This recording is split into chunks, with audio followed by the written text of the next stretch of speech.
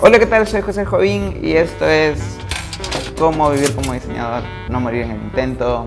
¿Cómo defines el precio? Depende mucho tu estilo de vida. Para saber cuánto vas a cobrar, necesitas saber cuánto cuesta tu vida. Si estás cobrando menos de lo que cobre tu vida, te estás yendo a pérdida.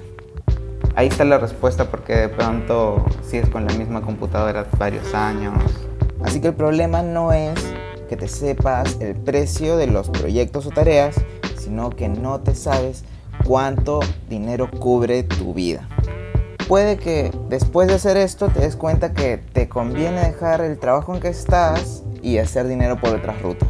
Inevitablemente el costo de vida de un diseñador, su estilo de vida es caro. Sus herramientas suelen ser caras. Luego hay que moverse en taxi para que no te las roben. Un día puedes vender caramelos, pero el siguiente tienes que vender Audis y necesitas tener un gran bagaje cultural, aparte de que te cruzas con todo tipo de clientes.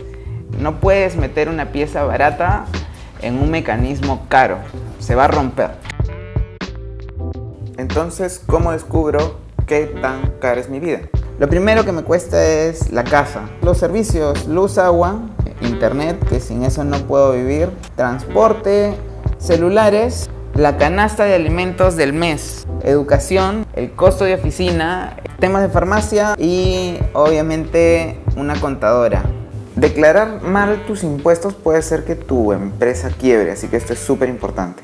Eh, esta tablita ya para que no tengas que pensarlo mucho, está en los comentarios un link, bueno, en la descripción un link para que la descargues y ahí tú llenes y se sume solo y al costado te diga cuánto tienes que cobrar por hora y todo ya.